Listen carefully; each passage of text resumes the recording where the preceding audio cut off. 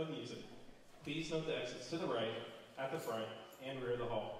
Please silence all cell phones and other electronic devices. UTM students seeking attendance credit for this performance must present their event pass to the ushers at the door. Thank you for coming and enjoy the performance.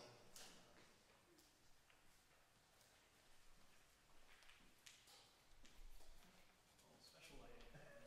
Good evening, everybody. Um, thank you for being here. We're excited to uh, present the spring concert for contemporary music group this evening to you all. Um, they've been working very hard on this stuff. Uh, we've got uh, a pretty diverse lineup of pieces. I think uh, it's pretty safe to say that there's going to be something on the program that everyone will find enjoyable. Probably not 100% of the program will be to your taste, but hopefully you come away with at least one or two pieces that you're like, yeah, I clicked with that. Um, it's all new music, which is why I say that. Um, and sometimes, um, aesthetically, that can be a little uh, challenging sometimes. Uh, Speaking of a challenging aesthetic, the first piece on the program tonight is uh, a piece by Arnold Schoenberg. Uh, for those of you who are familiar with your 20th century music history, he's the guy who came up with the 12 tone system. Um, this piece that we're going to hear, uh, played by Dr. John, is uh, his actually his first uh, published piece of 12 tone, and it's his Opus 25 piano suite, uh, the minuet and trio from that. And uh, it was we're playing, we're actually programmed it tonight. It's a little unusual to do a solo piece, but this year marks the 100th anniversary, 100th birthday of that premiere and of 12 tone by extension. And so it's it's just a good one. We thought this would be an appropriate time to kind of commemorate that on this concert. So uh, I'll sit down and stop talking now.